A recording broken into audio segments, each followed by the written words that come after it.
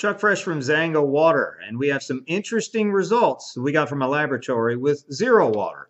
And as you can see, I've taken it all apart, but there's a reason for it.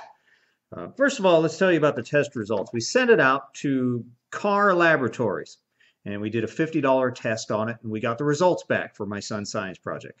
So we found out that as advertised, it does remove just about every single total dissolved solid from the water. So it's doing exactly what it says it does, which is terrific, including fluoride. There's very, very almost undetectable traces of fluoride in this water from the zero water filter. So that's great. It's doing exactly what it is. It's very clean. It tastes very good, and it should be very healthy. We did run into one issue, though, and this is actually admitted on their website. We did find an indication of coliform bacteria in our zero water sample. And none of the other samples, uh, actually one of the other samples did have uh, uh, some evidence of it. They don't tell us how much is in there, but there is something in there. And the fact that there is coliform bacteria in the zero water filter means two things. Number one, you probably shouldn't drink it without further testing to find out where it's coming from.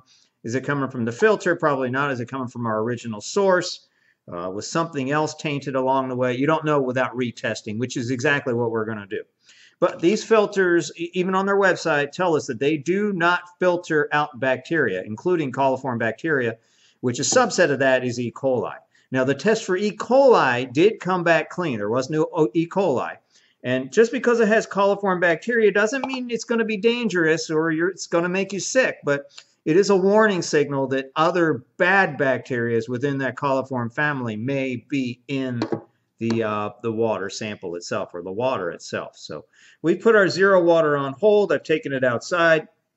I, um, I'm probably going to change this filter uh, and start from uh, with a clean filter because uh, I don't think you can ever really get it out. And I don't know how long it lasts. I've let it sit in the sun for several hours.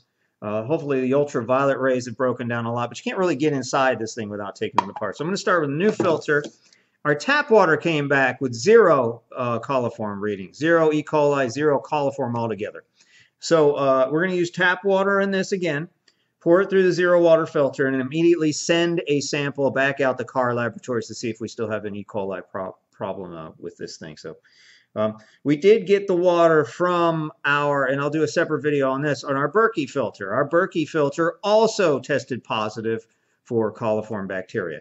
And it's possible that the water that we poured in the zero water filter came from the Berkey. We're trying to be smart and uh, make sure everything's out of this thing and getting as clean as possible. But on the other hand, that could, we do have a fluoride filter in the Berkey filter. So the Berkey filter may have been responsible for uh, filtering out all the uh, fluoride before it got to zero water. So we know for a fact that there is no coliform bacteria in our tap water.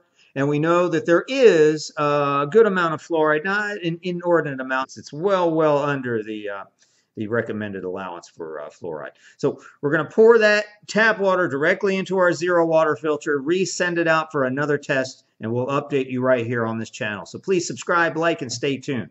Chuck Fresh for ZangoWater.com.